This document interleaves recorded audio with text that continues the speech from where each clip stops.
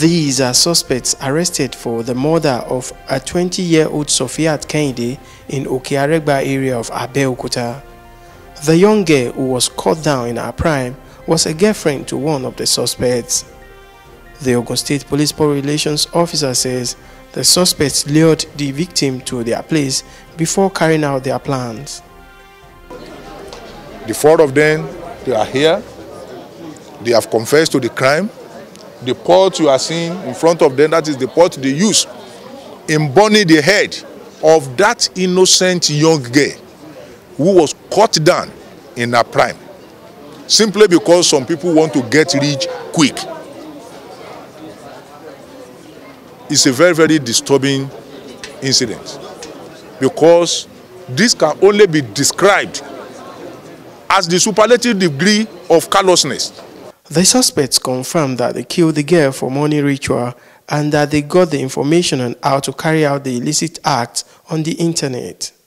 Second time, I told, I told Mr. Kim that Asova came to my house and he, he just tell me that that girl, you know, is not a good girl. Let us use her. That Mr. Kim tell me that he have something in his, his phone that called Oshole. That called Oshole. Mr. Kim, uh, I'm not saying that Oshole. Where you do seen it, he said that he's, he, he's seen it on Facebook and he screenshots it. Uh, I sit on Sophia and I'm, I'm, I take her hand to play. Suddenly, Mr. Kim take knife to drag her neck. The founding father's dreams to establishing Taraba State University is now being realized by the Ishaku's administration. The institution, rated as one of the leading universities in the country in 2021 by the AUC, at this convocation had 49 first class, 2,460 second class upper, 3,983 second class lower, 790 third class, 20 passes divisions. It also recorded 106 postgraduates, 311 master's degrees, and one PhD holder among 8,440 graduates. The first class students were given automatic employment. In the magnanimity and caring attitude of the rescue captain, the executive governor of Taraba State, and visitor to TSU, all our first class graduates who are interested in academics would be employed. Governor Darius Ishaku disclosed that the state government has started some projects in the institution to improve teaching and learning, listing a 700 capacity lecture theater among the ACE projects. He commended the council, senate staff, and students for keeping faith in their academic pursuit despite the trying times. My administration believes that it is its moral duty and responsibility to prepare and provide Tarabans and other citizens living among us with the necessary knowledge and skills to be active participants on the global stage. Another new entrant to the widening circle of the presidential aspirants. Senator Rochas Okorocha has joined the race for the top job in Aso Rock as he hopes to succeed President Muhammadu Buhari.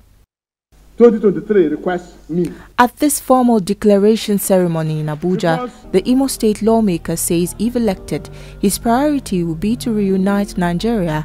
He believes this is a foundational curse of the many troubles the country currently deals with. The mood of our nation today calls for a leader in 2023 that can unite this country and give everybody a sense of belonging. If I say I will unite this country, believe me, I will do so. I'm not saying I will, I will. I'm saying I've done that already. There's no part of this country or zone you will go without seeing my signature.